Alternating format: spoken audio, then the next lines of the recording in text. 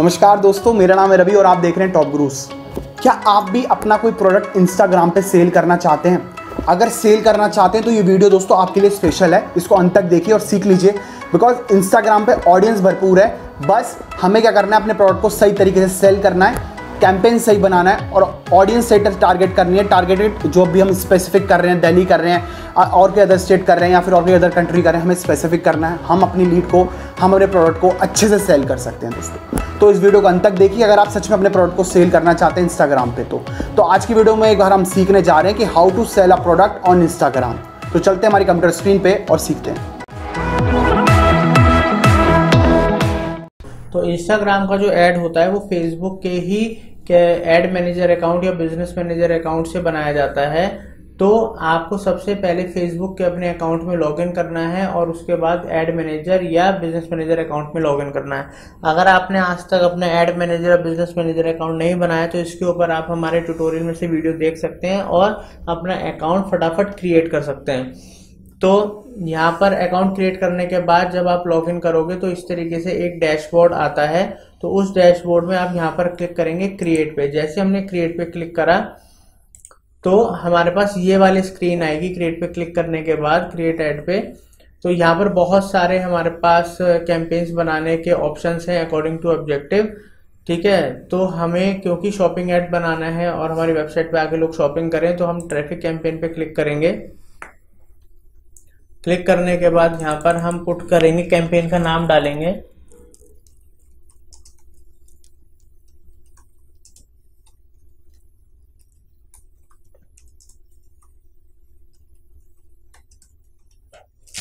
तो क्योंकि हमें हमेशा नाम याद रहे और कैंपेन याद रहे, इस वजह से नाम डालना ज़रूरी होता है। कंटिन्यू करेंगे।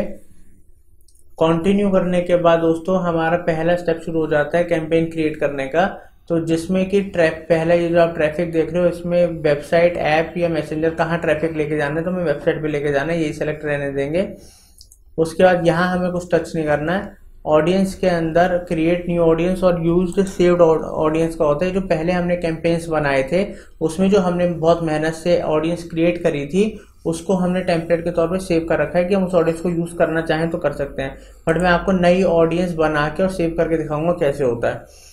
तो यहाँ अभी नीचे चलते हैं, यहाँ पर लोकेशन इंडिया सेलेक्टेड है, आप किसी भी कंट्री को कर सकते हैं, जहाँ पर भी आप हैं तो उस कंट्री को सेलेक्ट करने के बाद अगर आपको स्पेसिफिकली कोई एरिया सेलेक्ट करना है दिल्ली या कोई पर्टिकुलर स्टेट या वो तो वो भी आप यहाँ से सेलेक्ट कर सकते हैं सर्च करके।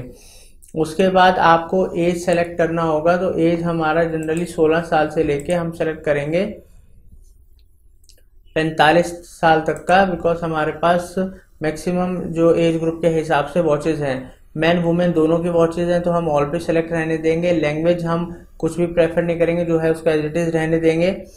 ठीक है? और यहाँ पर अब हम सबसे इम्पोर्टेंट पार्ट आता है, जो कि आपका पार्ट है ऑडियंस सेलेक्ट करना। तो यहाँ पर अगर हमने जितनी मेहनत करेंगे, जितना अच्छे से करेंगे, उतने ही हमारे अच्छे रिज़ल्ट आएँगे और हमारा एड ऑप्टिमाइज होगा।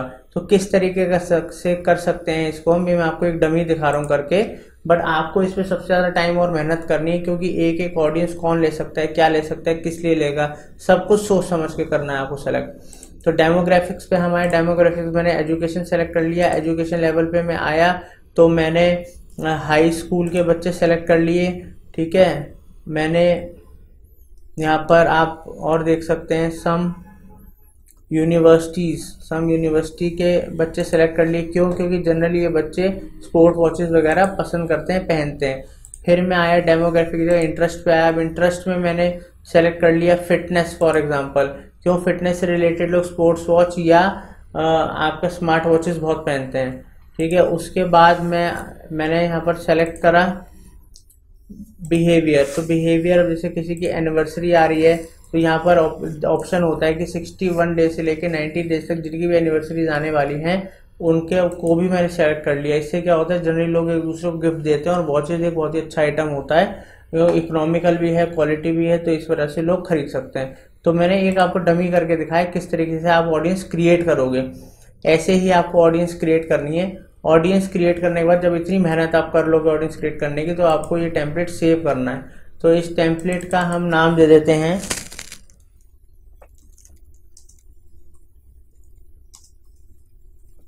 के, कि आगे से अगर मेरे को इंस्टाग्राम या शॉपिंग ऐड के लिए कोई ऑडियंस चाहिए तो क्योंकि आपने और हमने इतनी मेहनत से ऑडियंस बनाई है तो ये जो ऑडियंस है, ये क्या कहते हैं सेव रहे और हम इसका यूज़ फ्यूचर में कर सकें। ठीक है दोस्तों? और इसके बाद सबसे इम्पोर्टेंट एक चीज़ आती है, वो आती है ये एरिया जहाँ पर हम अपनी प्लेसमेंट मतलब कहाँ ऐड दिखेगा। ठीक है? उस एरिया को अगर फेसबुक और इंस्टा दोनों होता तो हम ऑटोमेटिक रहने दे सकते थे बट यहाँ पर नहीं हो सकता। हम एडिट प्लेसमेंट पे जाएँगे। एडिट प्लेसमेंट पे जाने के बाद यहाँ पर हम फेसबुक को डी सेलेक्ट कर देंगे। इससे फेसबुक पे हमें नहीं दिखाना है, ठीक है? हम ऑडियंस नेटवर्क को भी डी सेलेक्ट कर देंगे, क्योंकि इसको पे भी नहीं दिखाना और मैसेंजर पर भी नहीं दिखाना है।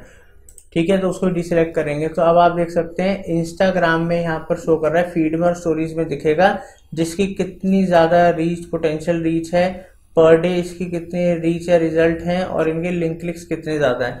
तो ये एक अप्रोक्स एस्टिमेटेड आपको एक जानकारी देता है।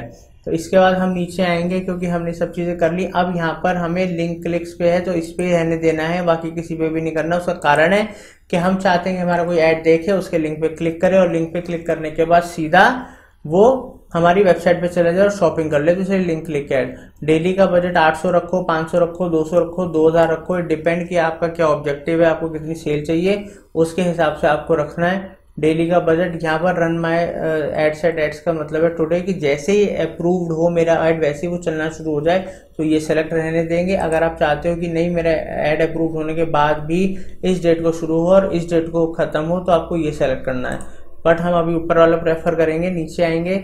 यहाँ पर जैसे कि मैंने आपको बताया था, हमें इंप्रेशन नहीं लिंक क्लिक्स पे करना है। तो यहाँ पर लिंक क्लिक्स का हम जो है चार्जेस क्या कहते हैं, उस हिसाब से हमारे होंगे। और अब यहाँ पर जो एड शेड्यूल है, उधर यहाँ पर इसमें कोई ज़रूरत नहीं है। यहाँ पर स्टैंडर्ड एक्सीलरेटेड है, हम स्टैंडर्ड पे ही रखेंगे। ये भी रिकमेंड करता है। स्टैंडर्ड का मतलब होता है जो भी पैसा बजट हम लगा रहे हो पूरे दिन में इक्वली डिस्ट्रीब्यूट हो, सही से हमारा ऐड चले। ठीक है? तो अब हम कंटिन्यू करेंगे दोस्तों। कंटिन्यू करके जैसे हम आगे आते हैं तो ये हमारा ऐड क्रिएशन का पेज आ जाता है, जहाँ पर आकर हम फाइनली अपना ऐड क्रिएट करेंगे। अब दोस्तों यहाँ पर हमें अपना इंस्टाग्राम का पेज सेलेक्ट करना है वॉच गैलरी का, वो हमने सेलेक्ट कर लिया। अभी हमें तीन ऑप्शन पूछते हैं क्राउजल एड सिंगल इमेज और वीडियो ऐड या कलेक्शन ऐड तो शॉपिंग ऐड जो इंस्टाग्राम पे चलते हैं जनरली उसमें आपने क्राउजल देखा होगा, लोग एक एक के बाद दूसरी, दूसरे दूसरी तीसरी तो सात, आठ वीडियो तक लाइन से डाल सकते हो डिस्क्रिप्शन डाल सकते हो, जिससे सेल बहुत बूस्ट होती है। और आपका, क्या कहते हैं मैक्स बहुत सारी, क्या कहते हैं, इसमें आपके पास ऑप्शन होते हैं इमेजेस डिस्क्रिप्शन वगैरह पुट करने का। अब हम नीचे आएँगे। नीचे आने के बाद अब हम क्राउजलेट बनाएँगे कैसे, ठीक है? दोस्तों, ये इंस्टाग्राम का एक प्रीव्यू है कि किस तरीके से हमारा दिखेगा, ठीक है? सबसे पहले टेक्स्ट डालेंगे। हमने ऐसे डमी टेक्स्ट बना के रखा हुआ है तो ये हम कॉपी करेंगे और पेस्ट करेंगे।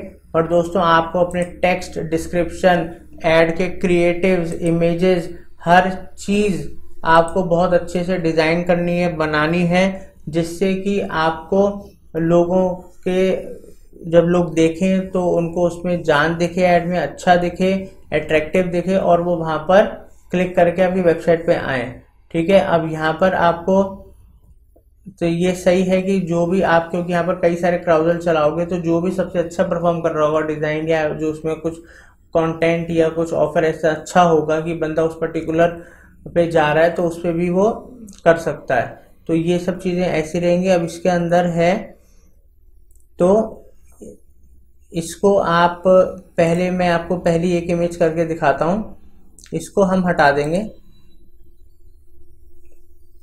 और यहाँ पर हम पहली इमेज आपको सेलेक्ट करके दिखाते हैं, कैसे आप ऐड बनाएँगे पहला। तो पहली इमेज में हमने अपना एक डिज़ाइन सेलेक्ट करा। अगर आपका इसमें नहीं है, क्योंकि आपने पहले ऐड नहीं चलाया तो अपलोड इमेज में जाके आप अपने फोल्डर में से अपलोड कर सकते हैं। कंटिन्यू करेंगे। कंटिन्यू करने के बाद आप यहाँ पर जो देख रहे हैं, जो भी साइजेस या डिस्क्रिप्शन या पैरामीटर या प्रोटोकॉल फेसबुक ने बताई है, उसी के हिसाब से ऐड डिज़ाइन करवाएँगे और कंटेंट डेवलप करेंगे, जिससे कि आपका बेस्ट ऑप्टिमाइज हो ऐड और सबसे अच्छा परफॉर्म करें। ठीक है? तो अब यहाँ पर हेडलाइन डालेंगे।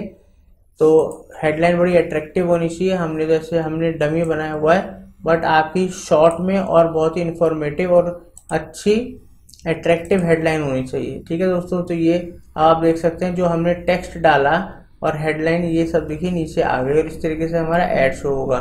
ठीक है दोस्तों, ये सब अभी ऑप्शनल है। यहाँ पर हमारा U R L watch gallery dot in का यू आर एल हमने डाल ही रखा पहले से, क्योंकि पहले भी ऐड बनाए थे तो अपने आप आ रहा है। ठीक है? तो कॉल टू एक्शन यहाँ पर कॉल टू एक्शन बाय यहाँ पर कॉल टू एक्शन कई हो सकते हैं like quote learn download depend कि वो क्या, किस पर्पज से वो ऐड है। बट हमारे को शॉप नाउ करना है, क्योंकि हमारा शॉपिंग के पर्पज से है कि वो शॉप नाउ पे क्लिक करो हमारी साइट पे जाए। ठीक है? अब हम नीचे आएँगे दोस्तों। यहाँ पर नीचे आने के बाद ये जो आप देख रहे हैं, एक बारी, हम ज़रा आपको सॉरी हमें एक ऐड और करके दिखाएँगे क्योंकि मिनिमम टू और मैक्सिमम सात, आठ तक आप अपने ऐड बना सकते हैं बट मिनिमम टू तो चाहिए क्राउजर के लिए। इमेज सेलेक्ट करेंगे, दूसरी इमेज सेलेक्ट करेंगे, ठीक है, इसको अपलोड करेंगे और ये करने के बाद यहाँ से आप हम जाएँगे। ये हमने एक और डमी टेक्स्ट बना रखा है कॉपी करा और कॉपी करने के बाद हमने पेस्ट कर दिया। पेस्ट किया। तो ये हो गया। तो डिस्क्रिप्शन ऑप्शनल है। ठीक है, नीचे आएँगे दोस्तों। अब यहाँ पर हम जो यूआरएल है, वो हम पुट कर देंगे।